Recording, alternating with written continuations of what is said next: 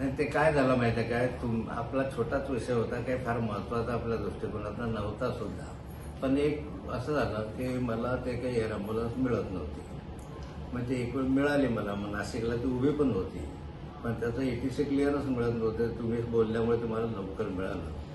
आणि मी हॉस्पिटलला आल्यानंतर ऑपरेशन तुम्ही ऐकून घ्या ना एक मिनिट हॉस्पिटलला आल्यानंतर ऑपरेशन थिएटरवर ज्यावेळेस नेलं तर त्या ठिकाणी त्यांनी ज्यावेळेस एन्जिओग्राफी करत असताना एन एन्जिओप्लास करायचा निर्णय घेतला. तीन दोन ब्लॉकेज हंड्रेड पर्सेंट होते.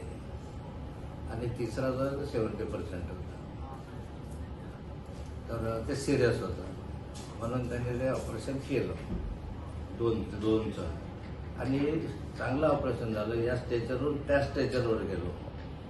दरम्यान एक कार्डियाटिक काय म्हणता आणि कार्डिएटिक अरेस्ट म्हणजे हृदय बंद पडलं हंड्रेड पर्सेंट आणि हंड्रेड पर्सेंट बंद पडल्यामुळे तर सगळी यंत्रणा म्हणजे ऑक्सिजन बंद हृदय बंद सगळं बंद. आणि त्या कालखंडामध्ये मग डॉक्टरांनी शॉक ट्रीटमेंट दिली ती दोन मिनिटाची दीड मिनिटामध्ये. आणि ते परत आपलं नशिबानं तर सुरू झालं.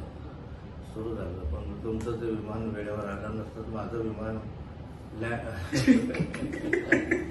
टेकऑफ झालं असतं तर लँड झालंच नसतं मग थोड़ा होता है। आखिर वो मदद करने वाला भी उतना ही बड़ा होता है।